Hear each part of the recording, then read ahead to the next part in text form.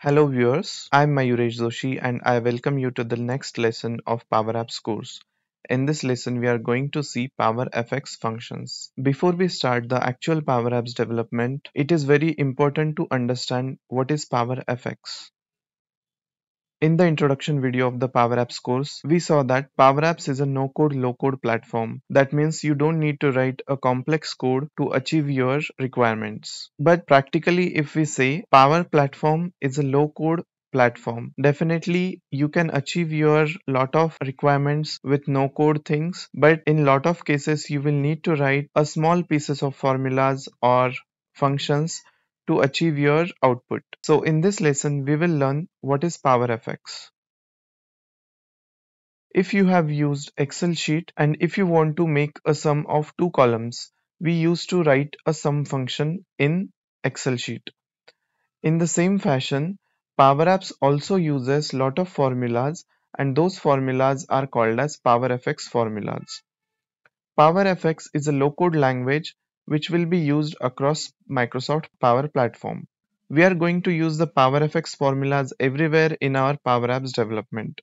You can refer this official documentation given by Microsoft. This documentation explains all details about PowerFX formulas. So if you see, uh, the first thing is think like a spreadsheet. Here they have given one example. If you see here, in the A2 cell, they have written one formula. This formula basically gives you the last word of the sentence. Similar kind of formula we, they have written in the Power Apps. So this screenshot is Power Apps screenshot. And if you see the text property of this text input, they have used a similar uh, formula in the Power Apps. And this formula also does the same work. So in short, PowerFX functions or PowerFX formulas in Power Apps will help you to achieve your requirements or to get your required output. Similarly, if you see they have used one rectangle and a fill property of that rectangle, they are um, generating that fill property dynamically with the help of these slider controls. So here they just want to tell you that it's not like very complex to achieve your uh, output so if you see this rectangles fill property, they have used a function RGBA. I will explain you these functions in a moment, but for now just understand that RGBA function takes some parameters like red, green, blue, so these colors. So red slider dot value, green slider dot value, blue slider dot value, and there uh, this is I think opacity. So these RGBA functions gets these values and it generates one color. The ne next feature of PowerFX formulas are it's always live. So if you see whenever you change this slider control, it automatically uh, the text formula of this label control is getting changed. So if we just wait for a moment, whenever the slider is changing, the order number is changing accordingly and it's pulling the uh, full name of that employee for that order number we will learn about this lookup function uh, but here they just want to tell you that whatever formula you have written in the power apps it is always live. So you will get a live data whenever you write those formulas. Then it is a low code. So powerfx is human readable formulas. So it's not like uh, very complex formulas you are going to write. So if you are aware about javascript programming here you can see that powerfx formula uh, can perform the same operation in a single line of code. But the javascript equivalent requires a lot of um, words. That means it is more verbose whereas the powerfx formulas are less verbose. Then uh, this documentation provide you a lot of uh, information about what is powerfx formulas.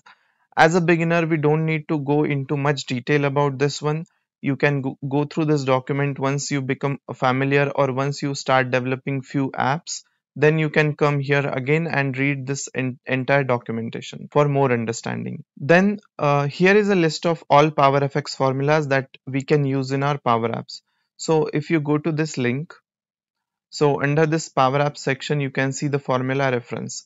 And this is the all the formulas that Power Apps uses or this PowerFX uh, formulas contains all these functions. So uh, I will give you a couple of examples in this uh, lesson as well like how we can use this formula and how it is useful in our actual business scenarios.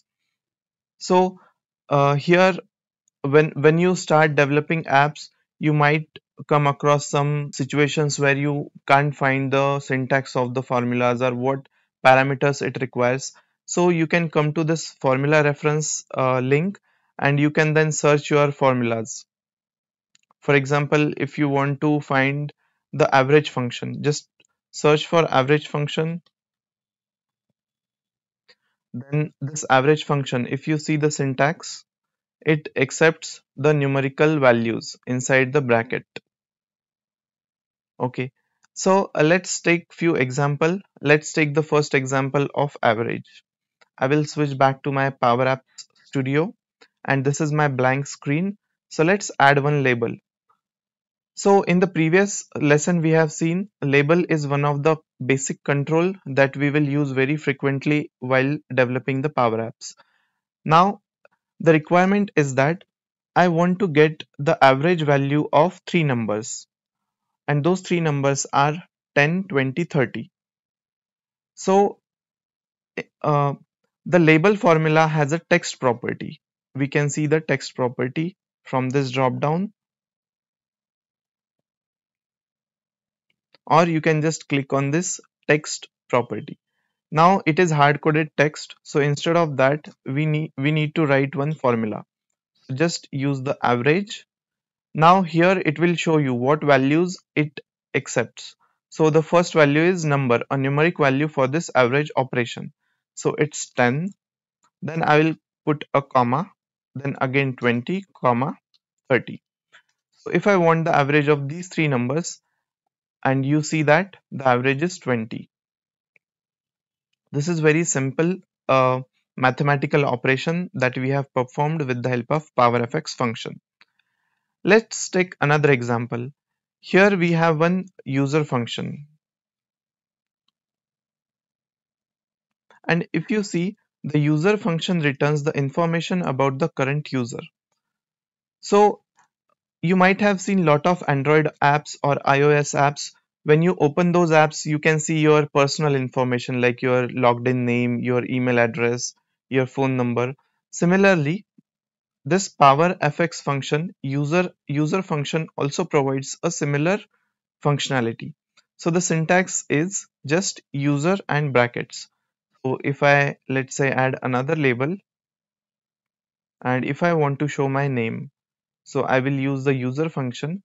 Now this function, if you scroll up, there are three three different properties this function provides. One is email, one is full name, and one is image. So email will return me the email address of myself. So I will write user dot email. And if I extend this label width, you can see it has written me my email address. Now if I want to show the username of logged in user, I can just use the same function user dot full name so when you put a dot, you can see the available properties of this function. So This all these properties can be returned by this function. So if I use the full name, I can get my full name, which you can see from by clicking on this icon as well. So my full name is Mayuresh Joshi. It has written me the same full name. My email address, here is the email address. Now, if I want to show uh, the current time value okay so there is one function which is now okay and what does this function do the now function returns the current date and time as date and time value so if you have some requirement where you want to capture the current date so current date is if you see it's 447 let me add a uh, label. And if I want to show the current time I will just use the now function. So if you see the syntax here it's just now. We have another function as today which we can use this now function if you see it has written me the date and timestamp So in short, if you see with the help of PowerFX function, we can get lot of information and we can perform different operation on different data sources that we are going to uh, learn in our upcoming videos. So the objective of this lesson is to make you familiar with PowerFX function, where can we use them, how to get the values. Let's take another example which is RGBA. So if you want to get a color, you can make use of RGBA function. We all know that every color contains three values, red, green and blue. If we make a combination of these three colors, we get different colors if I want the background of this to be red so what I will do just find the fill property and here you see that it has RGBA function but all uh, values are 0 0 0 that means it's a transparent color. But if I put some random color let's say if I want this dark blue color okay. So dark blue RGB val values are 0 0 1391 so 0 0 139 and 1 so you see that I got the dark blue color as a background of this text. So I hope you are now aware about what is PowerFX function how we can make use of them. If you have any questions or doubts please let me know in the comment section. Finally thanks for watching